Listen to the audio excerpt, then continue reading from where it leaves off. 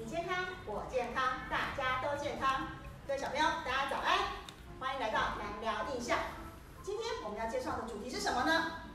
嘿，把镜头拉近一点，对焦一下。没有错哦，是温度计。好，在介绍今天的主题温度计之前呢，先来介绍今天的来宾。好，首先呢是我右手边的 Virginia 老师，Hi everyone。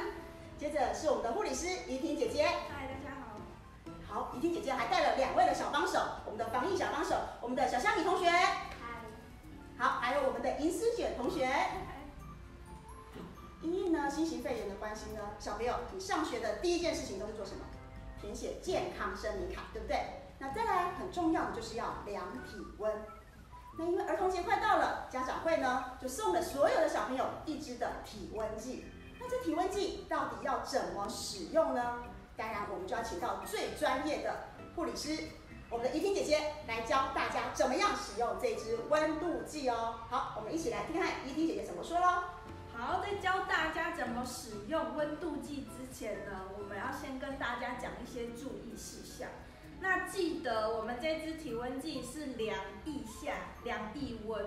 那所以我们在量之前呢，一定要确保我们的腋下是干净的、干的。所以如果你在量量之前，请你们先拿卫生纸或者是布，把你们的腋下擦干。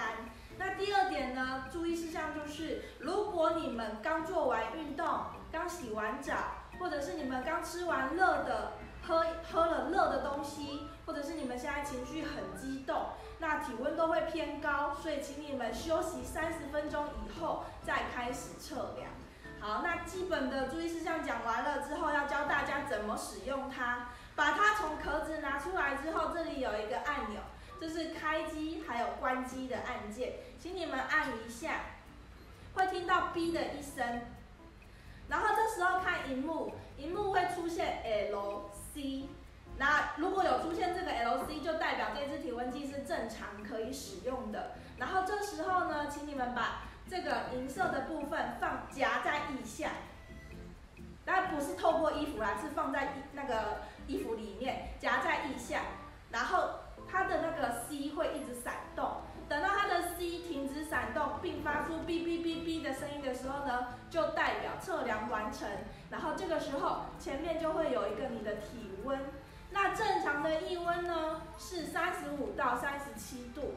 然后如果小朋友的体温超过三十七度，就代表你的体温偏高。那可能休息五到十分钟以后再测量一次，或者是拿耳温枪测量。对。好，那婷婷姐姐讲了这么多，大家应该都很听得很清楚。你的温度计拿好了吗？那我们现在来看看我们两位防疫小帮手小虾米和银丝卷来帮大家示范，看看这支体温计到底要放在哪一个位置哦。好，我们一起来看看喽。先打开盖子，按一下这个，会发出“哔”的一声，然后它会闪出 LC，然后就可以放到腋下开始量。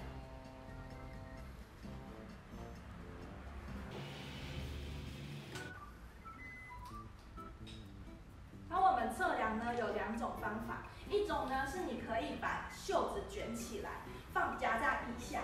那你记得袖子卷起来的时候，记得体温计银色的那个地方不要夹到衣服，这样子会测不准。那再来呢，你可以把你的领口拉开，把体温计放进去里面，然后夹着。那记得我们在量体温的时候，我们双手不做任何动作。我们休息就是这一分钟，只专心的量体温。那我们现在就等待他们的体温。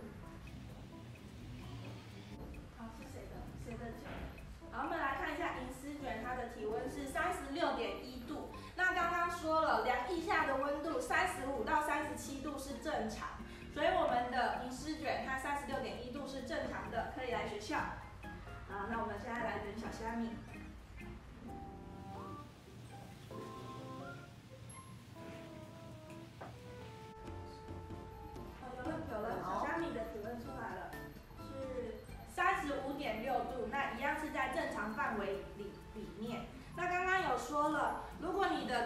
是大于三十七，一定要在 double check，就是再量第二次。那如果你们如果你测量两次都是三十七，那你们家如果有耳温枪的话，可以改用耳温枪测量。对，那对，OK，好，我们非常谢谢怡婷姐姐，还有小虾米跟银丝卷的介绍哦。那怡婷姐姐啊，这个温度计应该是一个非常私人的东西，对不对？对。那它可以借给别人，或者是我们要怎么样做清洁吗？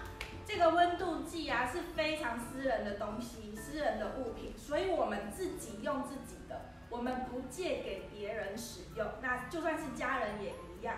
那如果你们的体温计有有脏脏的，请你们千万千万不可以拿到水龙头下面用水冲，也不可以直接喷酒精在这上面。请你们要清洁的时候拿卫生纸或者是软布。沾一点点水或者是一点点酒精，不要太湿，然后轻轻的擦拭干净就好了。那因为前面这一段银色的部分，它是感感测体温的地方，所以我们尽量不要用手去碰它，然后也尽量不要让它去就是有刮痕啊，或者是有受伤。那它只要有刮痕或者是有脏污，那就很容易会体温量不准，是的。非常谢谢怡婷姐姐哦。那呢，我们想知道了温度计有这样的形式。那刚刚怡婷姐姐还介绍了耳温枪，耳温枪它到底长什么样子呢？我知道怡婷姐姐今天也带了法宝来，对不对？对。好，我们来看一下学校现在在用的耳温枪是长什么样子的。我们请小虾米来帮我们示范一下，好不好？来，小虾米，这是学校目前的耳温枪。那耳温枪，耳温枪它很简单，很快速的可以测量体温，就是只要让它开机之后呢。我们的额头，隔大概三到五公分，按一下就会有体温了。体温是三十六点六度。那因为额温枪它没有接触到我们的皮肤，那它所以它很容易会因为外面的天气影响啊，太热或者是太冷，然后造成那个体温的变化。所以额温枪它是比较有一点不准的，就是不太接近人体的体温。但是因为它很快速可以测量到基本的体温。所以现在这个在校门口很常用。那刚刚说了耳温枪，耳温枪呢，它是放在我们耳朵里面，它又比我们量腋下的温度还要更准确。所以如果小朋友能够买到耳温枪的话呢，我们都建议可以买耳温枪。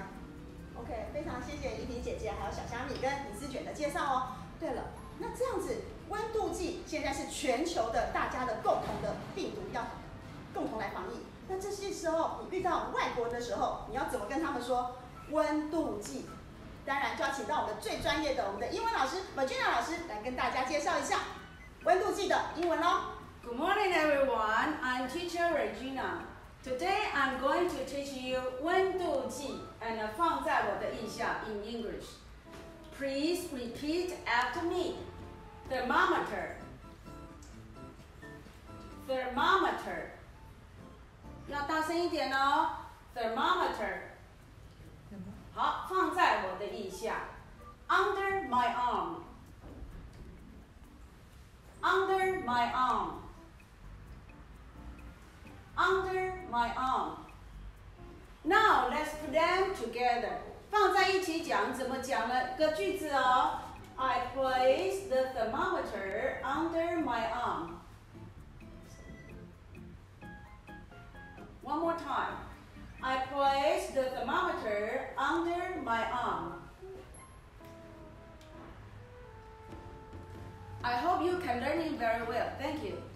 好，我们非常谢谢 Regina 老师哦。现在大家都会讲了吗？这个单字不大好念，有点长，没关系，回去记得跟爸爸妈妈说，再上我们的南聊印象看直播学英文哦。好体温计是一个非常私人的东西，我们要再次的感谢家长会还有教育发展基金提供的捐助，让全部的幼儿园的老师、学生还有小朋友都一人有一支。记得我们怡婷姐姐说的，这是很私人的东西，不可以借给罗金老师，也不可以借给怡婷姐姐，当然更不可能借给小虾米还有我们的银丝卷同学喽。好，我们今天的直播就到这里喽。你健康，我健康，大家都健康，难聊印象，下次见喽，拜拜，拜拜。